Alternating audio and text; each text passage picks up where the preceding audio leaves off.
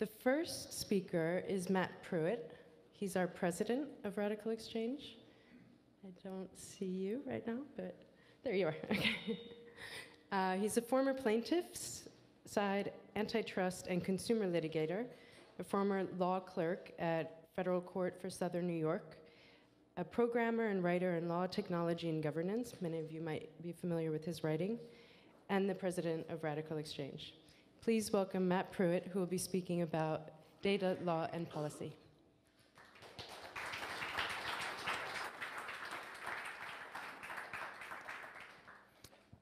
Hello. Uh, so my name is Matt Prewitt. As Jen said, my background is as a, um, a litigator. And uh, one of the you know big projects that RadicalxChange is working on um, lately is this this problem of thinking about policy changes that can help uh, help us all get a grip on the problem of data. So I, I think that we all kind of agree uh, in a general sense that there's something uh, awry with the way that the value of data is, is flowing through the economy. But um, there's a lot of uh, a lot of confusion and a lot of disagreement about the precise nature of the problem, and um, and about what to do about it. So, what one way of understanding what we are um, what we are up to is we're essentially, you know, taking a direct run at an extremely complex problem um, from a, sort of a policy point of view, and um, uh, we, you know, we, we do think that in order to, uh, we think that for various reasons, in order to, you know, it, to, to fix the, the problem at a fundamental level, we do think that some kind of change in legal and regulatory frameworks is, is necessary, and we're trying to uh, envision what that might look like. So, okay, so one really fundamental aspect of a lot of our work at RadicalxChange is uh, has to do with the problem of value that comes from network effects. So there's a there's a problem which is you know not exclusive to data, but a, pro- a problem that um, that is present in many many sectors of the economy where value creation processes depend on uh, intensely networked um, processes. Um, and, and you know, in other words, value is emerging from large networks of people and through network effects where, uh, but property rights are kind of, are, uh, are, don't track those networks. You've got a mismatch between the sort of value creation process and the property right. Um, and what this does is it creates opportunities for uh, network rents. It creates opportunities for people, for you know, parties that are, have certain advantageous positions within the system to extract value from uh, larger network value creation processes. Uh, so data is an example of this kind of process. It's created collaboratively. Uh, you know, we all are, we're all constantly through, you know, active and passive social activity, generating more information about one another and in this kind of interconnected way. Um, but the, uh, the ways that we sort of acquire, you know, rights over data don't always, uh, don't always track that.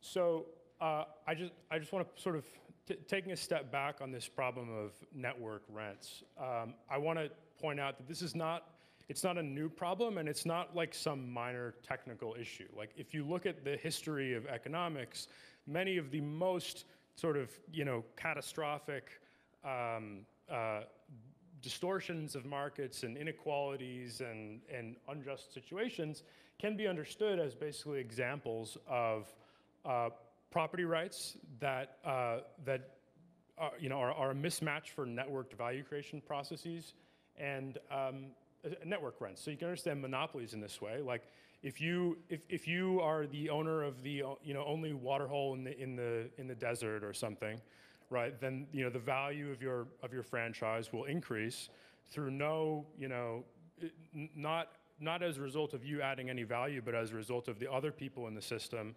um, you know, creating value through um, economic activity and social activity and cultural activity.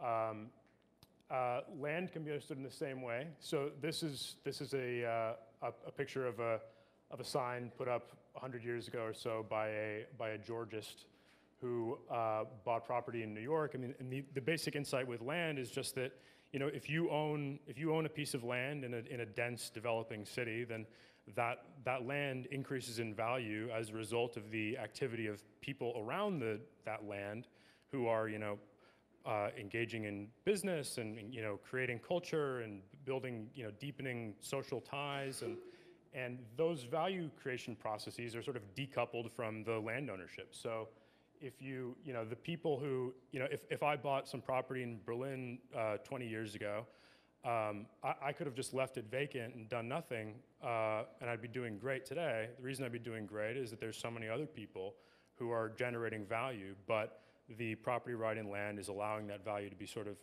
extracted in a way that's you know not fair and uh, and also completely completely inefficient. Uh, so data is not exactly like land, but it's important to uh, to realize uh, it's important to sort of see this this connection and see that it, is another case of a, of a mismatch between the sort of shape of property rights and the shape of value creation. So we can all see uh, that there are um, that bad things result from concentrated control over data. Um, you know, it's I don't need to sort of go th- go through the litany of horribles for the, the people in this room, I'm sure, but you can see that that um, when certain you know when when a handful of parties have kind of a disproportionate uh, control over the data of millions of people, it enables them to have quite uh, quite remarkable and quite uh, worrisome power over uh, all kinds of dimensions of, of people's lives. Um, and you know this is this is not again this is not like a small problem. This is a you know as as technology gets better and better and better, more of our more of our lives, more of our social activity, more of our sort of the the, the product of our work and so on can be kind of uh, encoded as information. And if we lose control over that information, uh, we, you know, there just, you know, we, we need to worry about kind of uh, distortions of power and concentrations of power that could be, on, you know, really on a historic scale. You know, in the, in the same way that that that for example, control over land allowed a small number of people to ex- exert really terrifying power in, you know, feudal societies. Uh, I mean, that's the sort of scale of the, of the worst case scenario that we should be worried about here.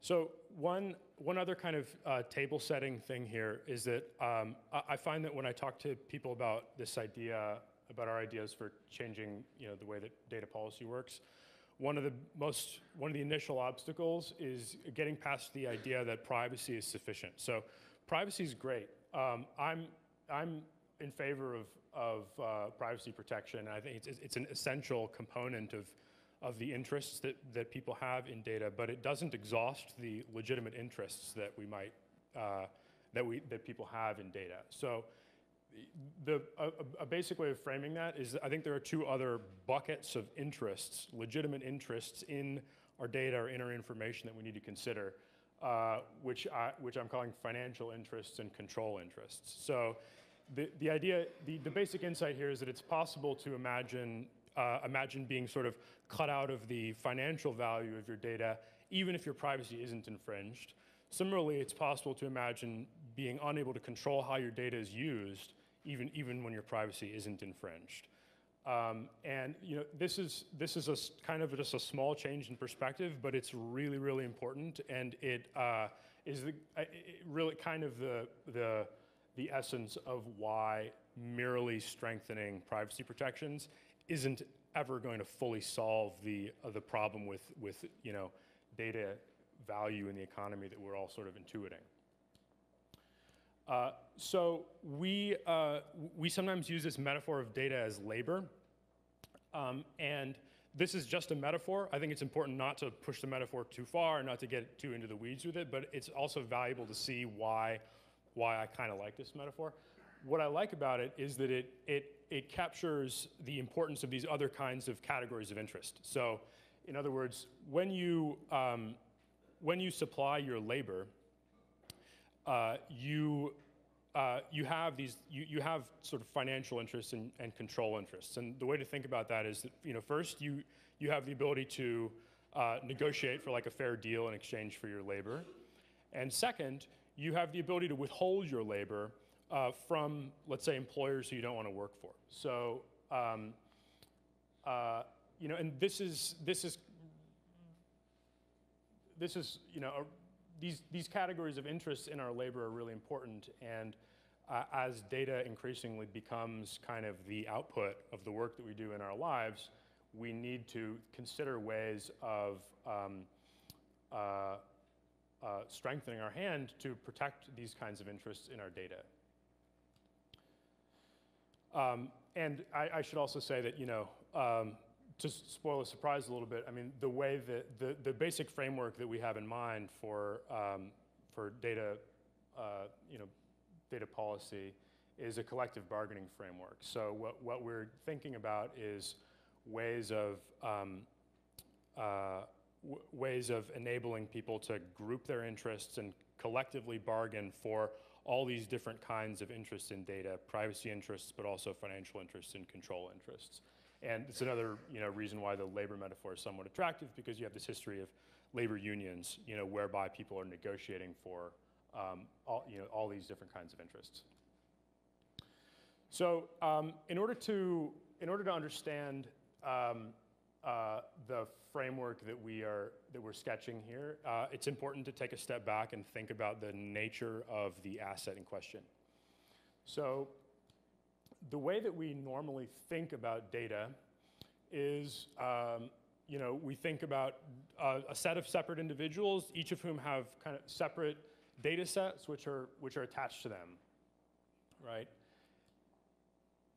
And and then the, the, the, way that that works is, you know, if we all have separate sets of data, then, you know, we all have kind of individual uh, bargaining positions, you know, with, and we take our individual rights over our data and we go to counterparties like, let's say, Google or, or Facebook or whatever uh, platform or, or third party that, um, that um, you know, can, can monetize your data. We trade our data in exchange for free services or, or low-cost services or whatever. And, um, and, and, that's that. The problem is that this is really based on just a, a fundamentally wrong conception of what data is and uh, how our interests in it overlap. So the individual data sets are always comprised of information about other people, information other people have helped to co-produce, and information that affects other people's interests.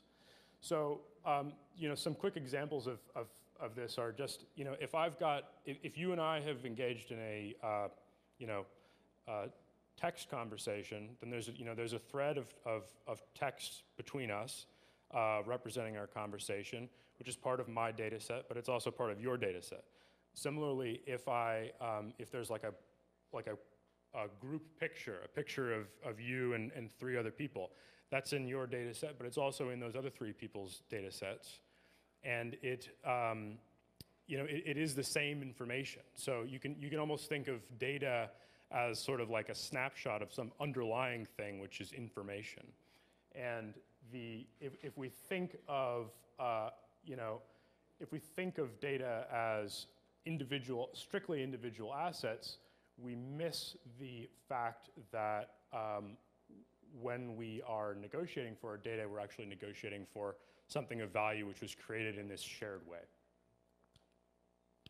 So, uh, you know, how can we start to move towards a model that, um, that allows us to negotiate um, uh, on, on kind of a grouped basis with, with third parties?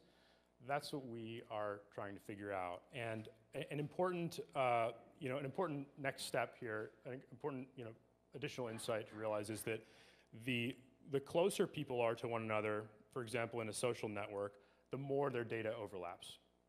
So, uh, you know, if, if, when you consider yourself vis-a-vis people you barely know or people who are on the other side of the world, you may have very little overlapping information, but vis-a-vis your family, you have immense uh, amounts of, inf of informational overlap in your data sets this is not just like your, uh, not just your sort of personal information, not just your text messages, but also your, your DNA, uh, your health information. All kinds of, of information um, overlaps in this way. And um, the closer people are to one another, the more they have in common, the more, uh, the more overlap you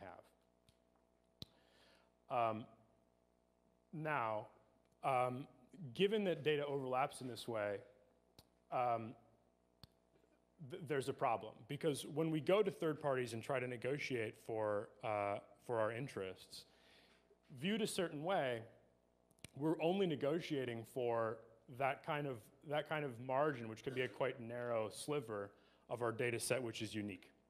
So, you know, if I've, if I, if you and I have had a text conversation, um, you know, that might, that's going to be in, in, in my data set. But if I go to, uh, you know, Facebook and effectively try to bargain for the value of that text conversation with Facebook, I may not be able to get anything in return because they may have it from, from you. They may, ha- may have it from some other source.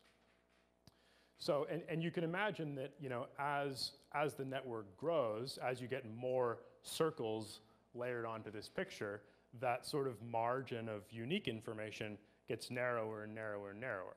So if you viewed in this way, you can think of data, you know, it kind of makes sense to think of, of data as potentially being um, something whose value decreases with scale, or, or decreases, you know, the, the marginal value of which decreases with scale. So that as we you know are, are, in larger and larger groups each of us as individuals has less and less bargaining power. But of course that's not really the whole story because the in our, our data sets also ha- contain information about one another that isn't in the other people's data sets so for example if i have i may have um, an, an example of this would be uh, let's say there's nothing in my Netflix watching history that suggests that I might like Stanley Kubrick films. But if you look at my friends' watching histories, uh, it's full of Kubrick, right? So there's nothing in my data set that suggests I might like Kubrick. But if you have my friends' data sets, you actually have valuable information about me, which you've gotten through them.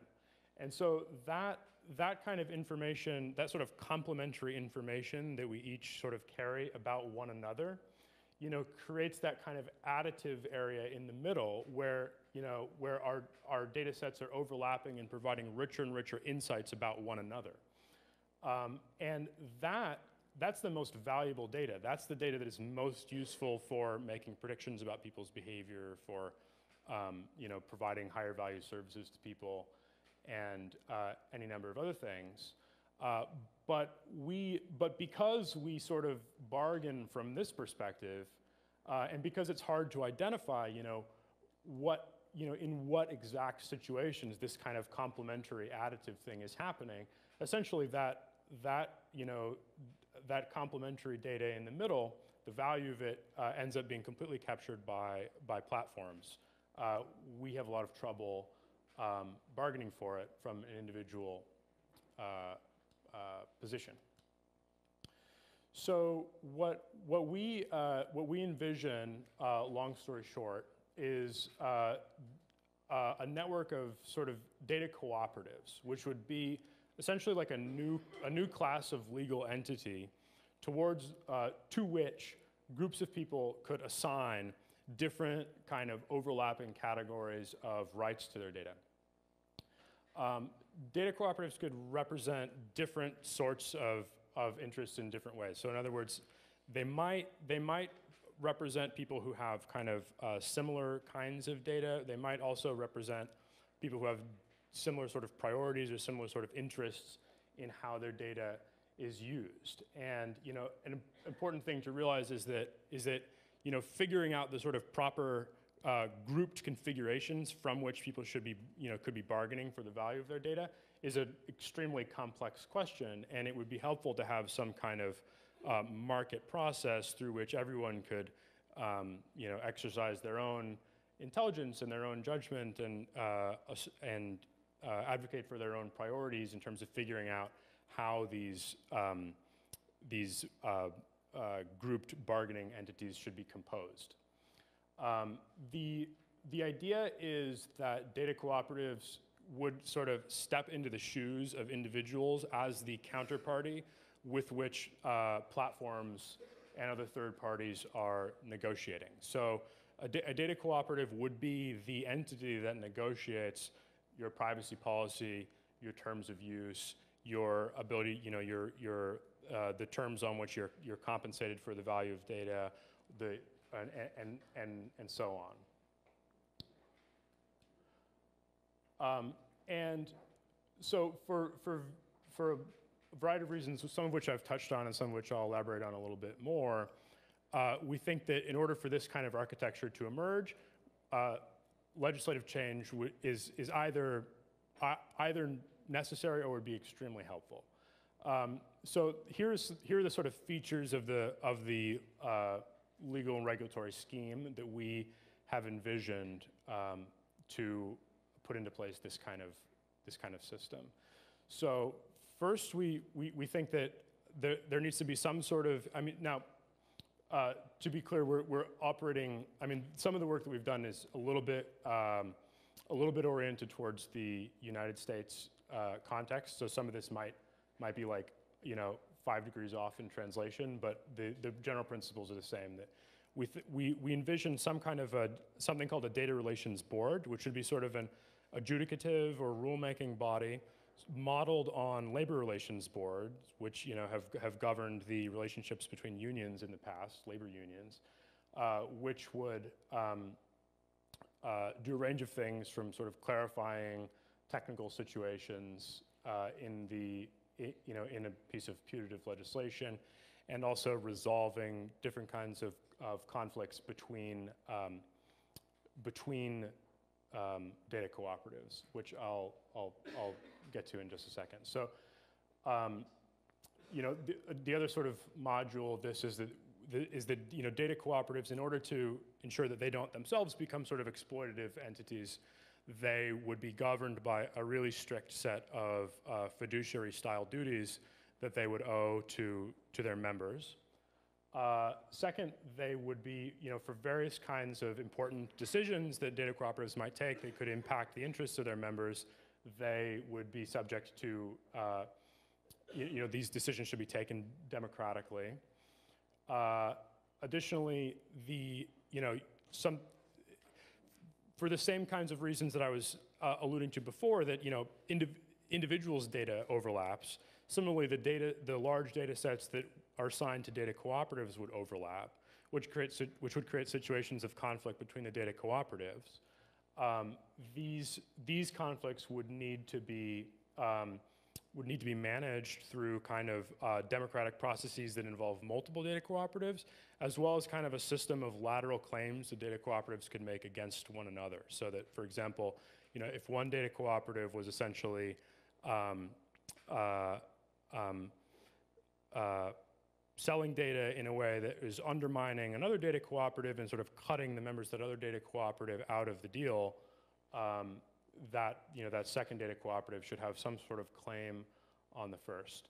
And uh, finally, uh, there need to be new rules um, about uh, permanently alienating data. So in other words, if as long as it's possible for data cooperatives to sort of permanently sell absolute rights to use data, this kind of collective bargaining system uh, is going to be undermined because um, because a secondary market will will emerge that will you know um, uh, undermine the ability of data cooperatives to uh, continue to to um, you know bargain for the interests of, of their members.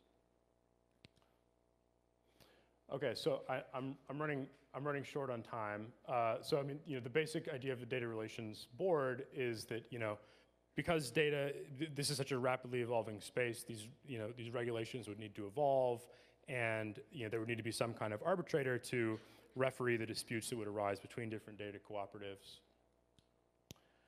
Um, uh, some of the sort of highlights of the set of fiduciary duties that um, we imagine data cooperatives um, owing to their members are, you know, some, some highlights here are, for example, limited term contracts with, with members. So, for example, um, uh, if data cooperatives are able to lock up their members for a very long period of time, then you kind of lose the ability of, of, um, uh, of exit, you know, as opposed to voice, to be a, a mechanism through which members are, um, are, are, are, are exerting control over the data cooperatives that are supposed to be representing their interests.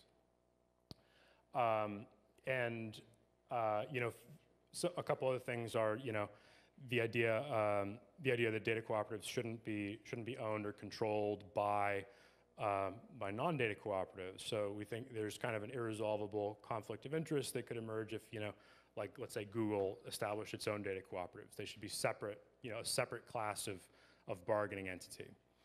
Um, uh, um, as I was suggesting, the the idea that data cooperatives should be democratically controlled is is um, really important. So, um, one of the most important uh, actions that data cooperatives might take in order to uh, negotiate for the interests of members would be, for example, to um, to withhold data from some third-party service. Um, uh, you know, in, in the something akin to like a like a data strike or a boycott. Um, in order for that kind of thing to be possible, data cooperatives would need to have uh, power over their members' uh, interests. Right? They would need to be able to take actions that could um, that could um, impact members' lives. Um, and uh, for that reason, uh, we think that a, a kind of well-designed, rich system of of democratic communication between members and, and data cooperatives is, um, is essential. Um, and uh, in, in the interest of time, I won't, I won't go into uh, too much more about these sort of lateral claims between cooperatives, but you can see that if, if, if data cooperatives don't have the ability to sort of communicate laterally be- between one another through democratic mechanisms or through sort of um, injunctive style claims against one another, you will have this sort of race to the bottom such that they will not be effectively advocating for, for their members' interests. Um, and uh, yeah, why don't I, uh, I'm, I'll leave it, I'll leave it there and maybe have time for a few questions? Or like one question? Okay. Thanks.